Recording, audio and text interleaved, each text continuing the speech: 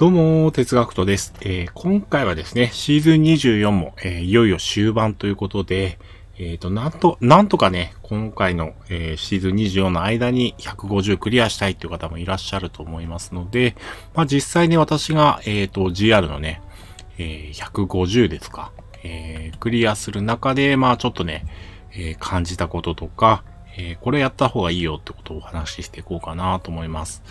まずなんですけど、パラゴンレベルなんですけど、パラゴンレベルはおそらくね、2000は欲しいかなっていうところですね。もちろん1000台でもクリアできるんですけど、やっぱり2000ぐらいないと、ちょっとこう、かなりシビアな戦いになってくると思うんで、まあ、2000とか、余裕があれば2500ぐらいまで上げられると、えー、かなり GR150 も見えてくるかなと思います。でですね、あとまあ装備品なんですけど、装備品別に全然赤である必要ないんで、あのー、まあ、私赤で拾った部分もありますけど、まあ、基本はね、どっちかっていうと、必要な特性値が載ってるかどうか。例えば、鍵爪だったら、えっ、ー、と、クリティカルヒットダメージとクリティカルヒット率。で、ここリソース、えっ、ー、と、クールタ、だえー、クールタウンタイム時間削減が乗るので、えー、クールタイムと削減が乗ってるものの方がいいかなと思いますね。これなんでかっていうと、あの、クリムゾン船長の効果で、あのー、クールダウン時間の短縮率によって与えるダメージが増加するっていう効果がついているので、ま、クリムゾン船長を揃えた場合は、まあ、必ずクールダウン時間を、えー、なるべく多く積むっていうことが火力アップにつながるんで、まあ、火力足りないっていう人たまにクールダウン時間が結構詰めてないケースがあるんで、そこは積んでほしいなと思います。頭今、トパーズにしちゃってますけど、ここもダイヤモンドにした方が、えー、火力が伸びるかなと思います。でね、あと、まあ、体力とか、えー、やっぱり、あのー、まあ、ツイスター型でやる場合は、えっ、と、この、障壁ですね。守護者の紅葉とか入れて障壁を出すんですけど、まあ、障壁をいかに維持するかってと結構大事になってくるんですよね。スクワットのネックレスを入れてると思うんで。なんですけど、まあそこのところはね、やっぱり兼ね合いで、まあ、アメジスト入れるか、トパーズ入れるかって悩ましいとこなんですけど、まあ、今なんかもう知力が上がってきちゃってるんで、まあ、全体性が上がってると結局。全体性が上がって防御力が上がってるから、それほど障壁が崩れないんだけど、えー、まあ、レベル2000とかで調整するんだったら、ここはアメジストにした方がいいかもしれないです。ただ火力はどうしても下がっちゃうんで、そこのところはちょっと調整した方がいいですね。何個つけるかっていうところですね。飛ばず5個でいけばもちろん火力出るけど、まあ、障壁がよく破れるようだったら、えー、ここら辺を、えー、アメジストにするっていうのも選択肢かなと思います。頭は、まあ、ダイヤモンドでいくと。でですね、もう一つ結構大事なところが、あの、火炎系スキルダメージってどれぐらい漏れてますかっていうところなんですけど、まずまあ、えっ、ー、と、アミュレットの方にね、火炎系スキルダメージつくんで、まあ、ここなるべく20%欲しいところかなと思います。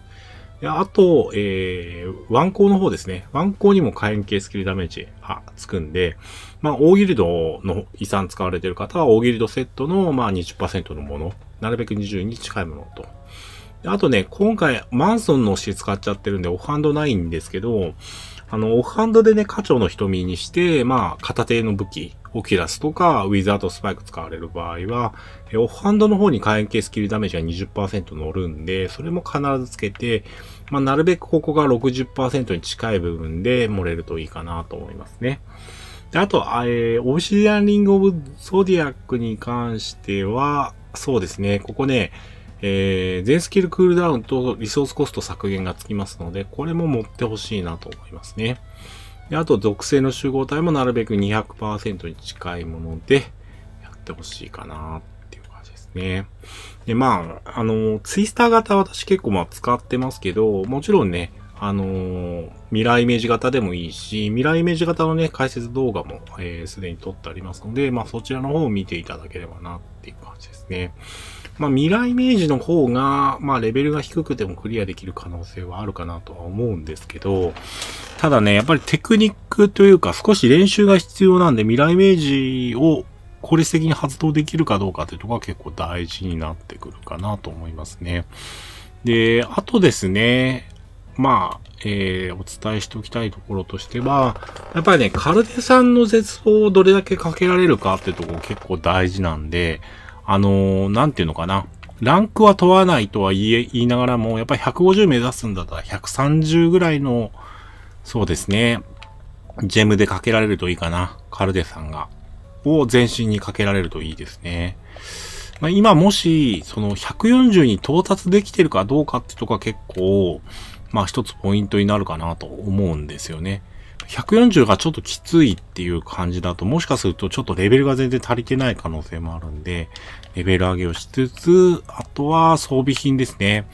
おそらくね、140が超えられないっていう感じだと、何かしら特性が足りてない可能性があると思うんですよね。さっき言ってた装備品の、えー、特性がどこか足りてないとか、あとクリティカルヒット率は全然乗ってないとかね。そういうこともあるんで、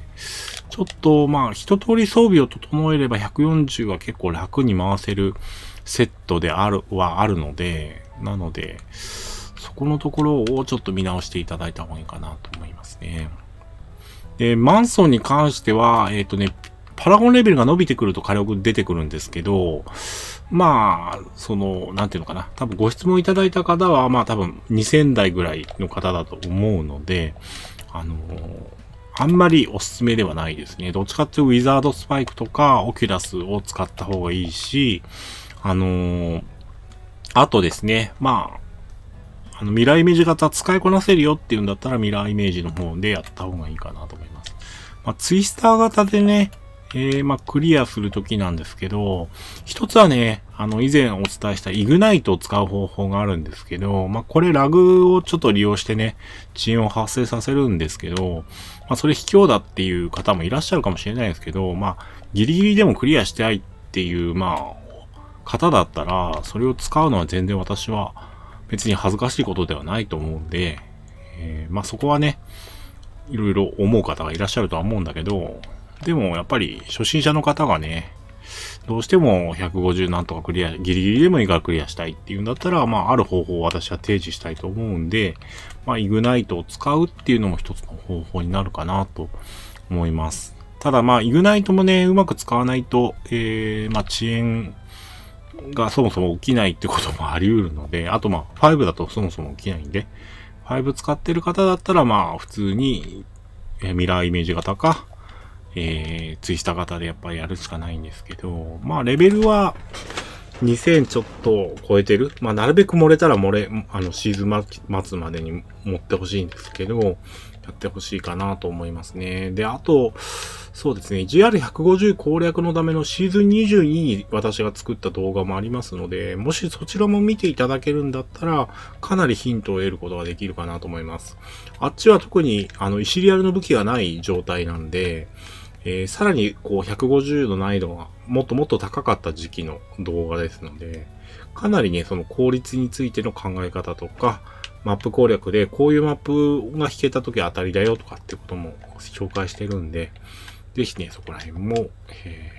ー、見ていただけたらなと思います。で、まあ、GR150 攻略するとき正直マップもね、結構大きな要素なんですよね。だから、なんか一発クリア、なんか GR のクリアっていうと一発クリアだと思ってる方結構いらっしゃるんですけど、えー、そんなこと全然なくて、上の難易度であればあるほど何回も挑戦して、なんとか成功するってことの方が増えてくるんですよね。だから一発クリアできないから、この難易度はクリアできないっていうふうに思うのはちょっとね、えー、まだまだ、ちょっと、ちょっと判断するのが早くて、あのーもうほんとギリギリで最初はクリアするものだと思うんですよね。150とか特に。なので、まあ明らかにこう火力が足りないとかだったら、おそらくいろいろ立ち回り上問題があったりとかすることもあるんで、そこら辺は改善する必要あるんですけど、うん、なんだろうな。一発ではクリアできないと思ってください。なので、あの、レベル2000あってもおそらく結構トントンだと思うんですよね。あのー、毎回クリアできる2000台の人ってあんまりいないと思うんで、あのー、まあ、10回やって1回クリアできるかなぐらいのバランスで考えておいた方がいいかなと思います。で、マップでね、今、例えばこの森なんか結構、えー、クリア難易度が低いと言われてる、あ、難易度が低めなマップで、まあ、こういう導きの統合とかね、こういうところをちゃんと利用して、エリートがいたら、まあ、まとめて焼くっていう感じですかね。GR150 の立ち回りについては結構ね、150関連の動画は今回大量に私のチャンネルでも投稿してますんで、そこら辺を一通り見てもらうと、どういう風に立ち回ってるか、あと、そのキルをどうやって切ってるかとかね、このキル数も、えっ、ー、と、あまりにも多くなると、この2倍の時間が切れちゃったりするんでね、そこら辺も含めてちょっと見てもらえると、えー、いいんじゃないかなという気がしますね。まあ、150はやっぱりどうしてもね、あの、最初やるときはすごく大変なんで、あの、まあ、未来イメージ型にしろ、ツイスター型にしろね、えー、まあ、初心者の方が最初に行くのにはちょっと大変だと思いますが、まあね、私もこう、配信なんかで、えー、アドバイスできる部分はしていきますので、ぜひね、参考にしていただけたらなと思います。ま、やっぱり150いけると、まあ何が違うのかって言ったらまあ達成感だけなんですけど、あとまあ、あの、血の血片の上限が2000になるとか、まあそういう小さなメリットはあるんですけど、まあやっぱりね、クリアしたいって方たくさんいらっしゃるみたいなんで、ちょっと今回こういった動画を撮らせていただいたんですけども、まあね、この動画だと本当に触りのことしかお話できてないんで、詳しくはね、あの、GR150 の、えー、クリア動画とかね、あと、まあ、解説系の動画も、まあ、かなり、えー、何本か過去に撮ってますんで、そちらの方も見ていただけたらなと思います。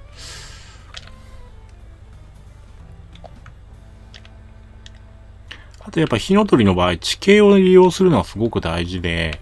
あのー、こういうボスなんかに関しても、とにかくこう、火炎がなるべく逃げないようなところに、こう、そのボスに対して火炎が当たる時間が1秒でも長くなるようなところに、えー、こう、ツイスター集めてあげるっていうのが大事。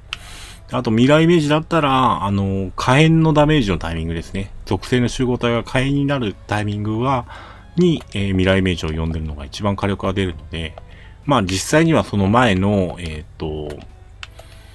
氷の属性の時に、まあ未来イメージを読んでおいて、7秒間の、まあ、召喚時間の間にダメージを出すという感じですね。